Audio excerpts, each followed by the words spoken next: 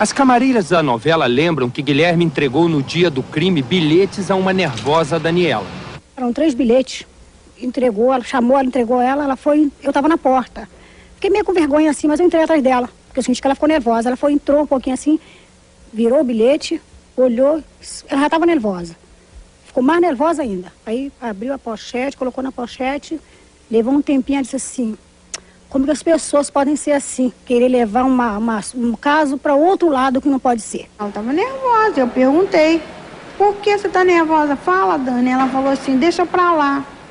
Aí eu não podia insistir. O comportamento dele não era aquele, ele estava indo de um lado para o outro, entendeu? completamente estranho. Que bilhetinhos foram esses que ele trouxe e ela ficou tão nervosa de tarde, ficou tão apavorada que desabafou com camareiras nossas, dizendo que não aguentava mais essa situação. Que teria passado esses bilhetes para ela? Que ação ele estava fazendo nessa menina que estava tão constrangida? Ela estava meio assustada. Alguma coisa estava. Algo estava rolando, entendeu? Ela voltou de novo. Quando ela voltou para dentro, ela voltou com os bilhetes na mão, os papelzinhos na mão, os bilhetes abriu a pochete, sentou. Primeiro ela sentou e falou assim, olha só, esse menino tá levando para um outro lado que não é. Tá, tá enganado comigo, entendeu? Aí a frita, ela já estava frita.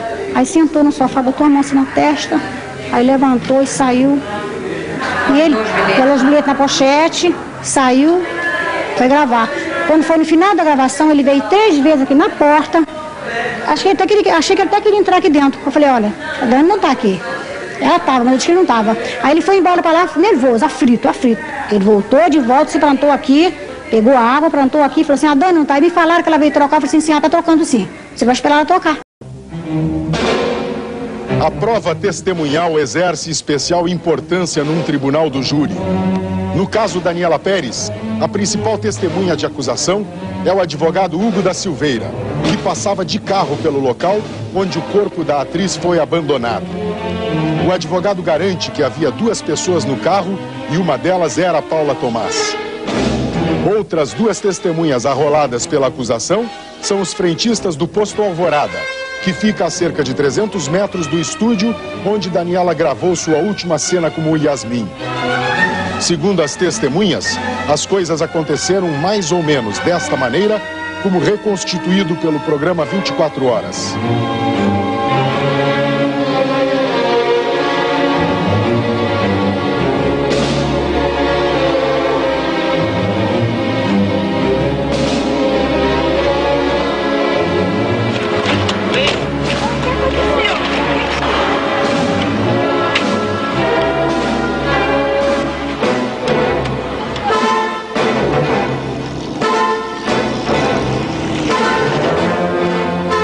Testemunha importante para a acusação é o também frentista Antônio de Moraes, de outro posto de gasolina, que lavou o banco traseiro do carro de Guilherme de Pádua na mesma noite do crime, que estaria sujo de sangue.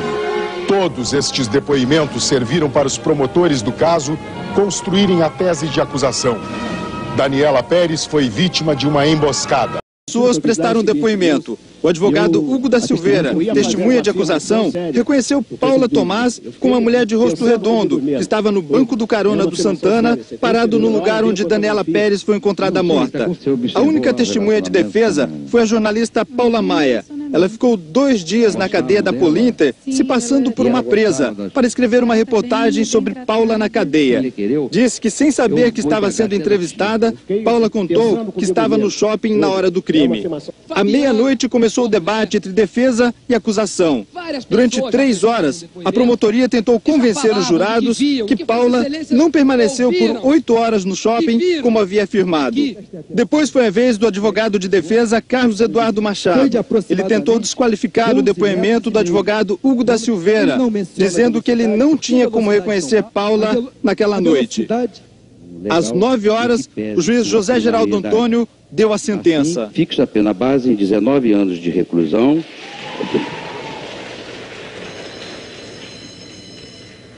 Assim, fixa a pena em 19 anos de reclusão, que reduzo para 18 anos e 6 meses de reclusão por força da circunstância de ser ela menor de 21 anos de idade à época do fato, tal como deliberado pelo júri. Está posto na cara desses dois assassinos. Eles podem sair da cadeia, a lei pode ser benevolente, pode ser o que for, Mas para a vida inteira eles vão ter esse selo na cara, criminosa. Paula Tomás deixou o fórum e foi levada de volta para a cadeia.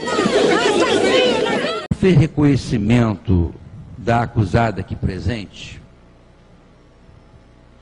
Fiz. Como sendo aquela pessoa que estava no banco Posteriormente, eu fiz em juízo esse reconhecimento.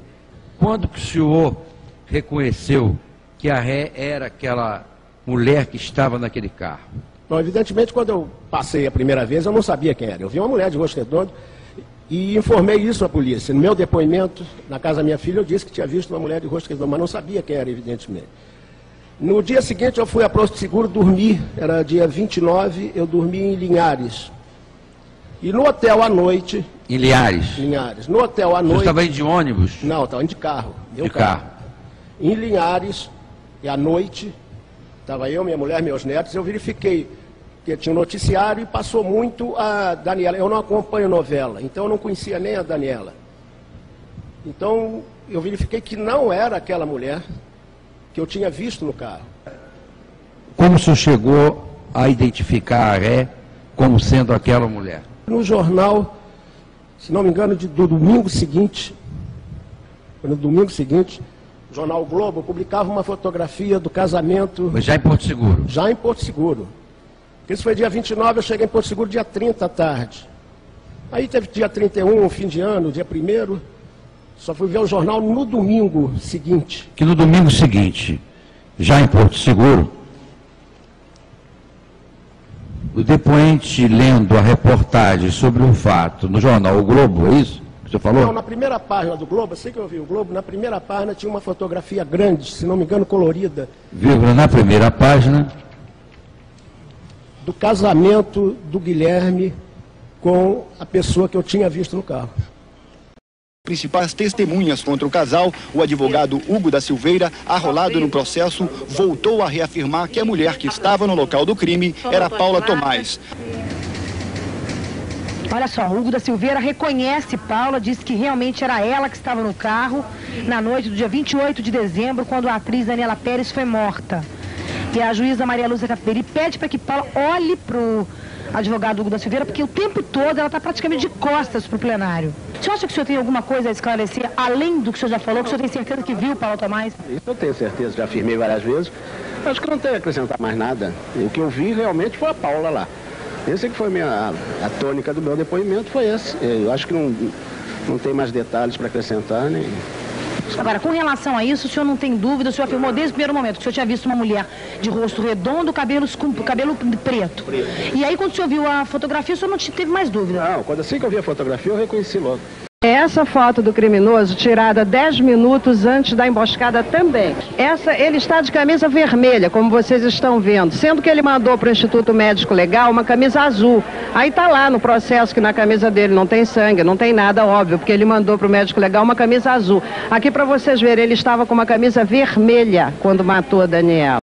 Guilherme de Pádua ficou apenas 36 horas preso e nem chegou a entrar numa cela. Ficou o tempo todo numa antessala da carceragem. O ator, que depois de sete horas de interrogatório, tentou negociar com o delegado a confissão dele, pedindo que, em vez de assassinato, o delegado considerasse tentativa de assalto, foi solto por decisão da justiça. A juíza Márcia Alvarenga considerou a prisão em flagrante ilegal. Estava lá. Eu não vou responder essa pergunta. Sabe por quê? Vou te dizer. Porque eu não gosto. É, pra vocês não. Por quê? Porque eu não acho que é a hora. Eu prefiro dizer, talvez em juízo. Eu vou dizer o que eu quiser dizer. Eu tenho os meus motivos para dizer isso ou aquilo, não é verdade? Eu acho uma covardia as pessoas dizerem, ah, é, tentarem denegrir a imagem de um, né, no caso eu, um assassino confesso. Aí eles falam assim, não, ele é, ele é homossexual, né? É tipo aquela música do Cazuza, te chamam de ladrão, de bicha, maconheiro, transformam o país inteiro num puteiro, pois assim se ganha mais dinheiro. Chega Guilherme de Pádua e o pessoal começa a gritar.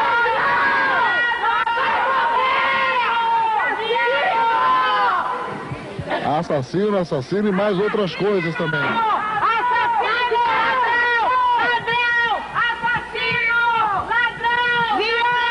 Que Deus dólares da Dani! Além de matar, tem que roubar! Não basta só matar, só faltava estupro! Ladrão! E aqui é o nosso atleta Paulo Ramalho, que é o defensor do Guilherme de Pádua. Como é que você vê esse, é, esse clima já no começo do, do, do, dos depoimentos? Uma claque. Profissionais de televisão são acostumados com claque. Havia aqui, se muito, 10 pessoas, todas ligadas à televisão e fazendo uma claque. Uma claque como eles habitualmente fazem. O, o, o defensor do Guilherme, o Paulo Ramalho, disse que é uma claque, que é o pessoal ligado à televisão que começou a gritar. Como é que você vê esse, esse tipo de reação? É uma claque gerida provavelmente pela progenitora dele. É isso que eu acho é uma claque, porque não foi a filha dele que foi morta, não foi a filha dele que foi roubada e que só faltava para completar Wagner o estupro. Eu acho que ele é advogado, tudo bem, mas ele não pode ser cínico. Isso aí não é uma claque organizada, é o sentimento das pessoas. A gente não organiza o sentimento. A juíza teve tanta pressa em relaxar a prisão que o despacho foi escrito à mão. Horas depois, um desembargador caçou a liminar e decretou a prisão preventiva de Guilherme.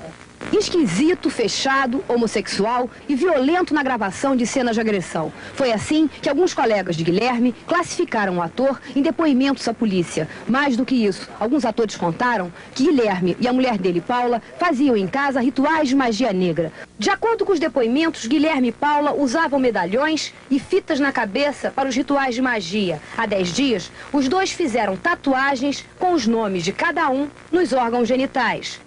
Existe uma, uma participação dentro da cabeça do Guilherme de uma entidade, que, de uma imagem de um preto velho que ele chamava seu Francisco ou Chicão, e há testemunhas a quem ele exibiu é, essa imagem é, dizendo que recebia ordens dessa imagem. É possível que nós tenhamos perante um caso aí semelhante a esse que a literatura é, especializada chama de psicopatas em grau bastante avançados, em que o decorrer é, de determinada trama, de determinadas coincidências levam a uma prática de um crime horroroso como esse. Ele levava sempre esse preto velho numa mochila dentro do camarim e eu falava com ele que eu não queria isso, porque eu trabalhava, nós dividíamos um camarim juntos e isso não era certo, até porque eu respeitava todas as religiões, mas não queria essa falange perto de mim. Uma pessoa completamente perturbada, uma pessoa completamente fora de si, nervosa nas suas atitudes, no seu emocional abalado. Quer dizer, uma pessoa tem que ser condenada, né? A polícia procurava por Guilherme em Minas Gerais, Goiás e no Rio de Janeiro. No meio da tarde, ele se apresentou, acompanhado pelos advogados, no Fórum do Rio. Os advogados pediram à justiça garantias de vida para que o ator retornasse à prisão. O certo agora é que o ator Guilherme de Pádua vai romper o ano na cadeia. Uma coisa que tem chamado muita atenção de todo mundo são as tatuagens do Guilherme de Pádua. Olha só, essa aí é uma tatuagem na perna, mas existem informações de que ele tem uma tatuagem nos órgãos genitais e a mulher dele tem uma tatuagem na virilha. E que eles teriam um pacto. É uma coisa impressionante. O comportamento quase obsessivo de Guilherme de Pádua e da mulher Paula Tomás também se revelava em marcas no corpo dos dois. Há cerca de 15 dias, eles estiveram aqui neste prédio, num estúdio, para serem tatuados. A tatuagem é uma marca definitiva que não sai mais do corpo. Um pacto selado com sangue no corpo dos dois. Esse tatuador contou que Guilherme tatuou o nome de Paula no próprio pênis. E Paula gravou o nome do marido na virilha.